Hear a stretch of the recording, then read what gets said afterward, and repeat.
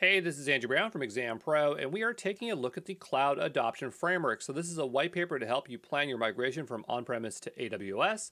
At the highest level, the AWS CAF organizes guidance into six focus areas. We got business, people, governance, platform, security, and operations. And this white paper is pretty high level. Uh, so, you know, it doesn't get into uh, granular details on how that migration should work, uh, but gives you kind of a holistic approach. And I believe that probably through the AWS uh, Amazon Partner Network, there's people that specialize in using this particular framework to help organizations move over.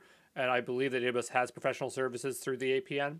But let's just kind of break down what these six categories are. We're not going to go too deep into this, um, but let's do it. So the first is the business perspective. So these are business managers, finance managers, budget owners, strategy stakeholders. So it's how to update the staff skills and organizational processes to optimize business value as they move ops to the cloud. You have people perspective, so human resources, staffing, people managers. So how to update the staff skills and organizational processes to optimize and maintain the workforce and ensure competencies are in place at the appropriate time. You have governance perspective, so CIOs, program managers, project managers, enterprise architects, business analysts. So, how to update the staff skills and organizational processes that are necessary to ensure business governance in the cloud and manage uh, and measure cloud investments to evaluate the business outcomes.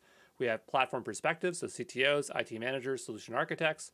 So, how to update the staff skills and organizational processes that are necessary to deliver and optimize cloud solutions and services security perspective, so CISO, IT security managers, IT security analysts.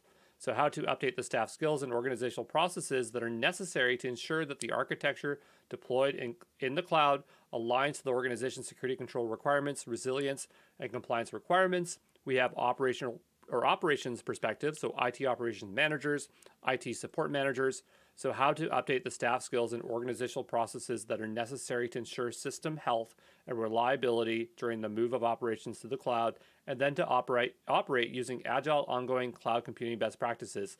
So, this just taps the surface of what the CAF is. Uh, and I think for each of these, they actually have a more detailed breakdown. So, you know, business is going to break down to even more uh, uh, finite things there, okay?